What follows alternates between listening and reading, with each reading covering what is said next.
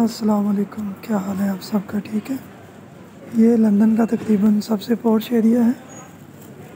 और वीडियो बनाने का मकसद ये है कि सिर्फ़ गुरबत की वजह से जो है वो अपने मुल्क को जो है वो बहुत सारे लोग जो है बुरा भला कहते हैं।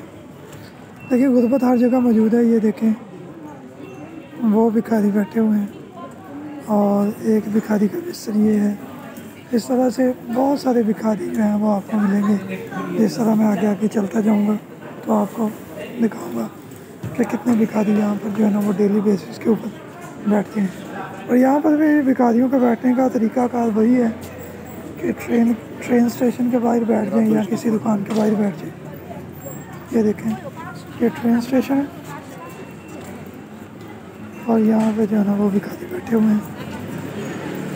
तो सिर्फ़ और सिर्फ़ गुर्बत की वजह से अपने मुल्क को जो है ना, वो बुरा भला नहीं कहना चाहिए। मिलेंगे आपसे इंशाल्लाह नेक्स्ट वीडियो में। अपना ख्याल रखें। अल्लाह हाफिज़।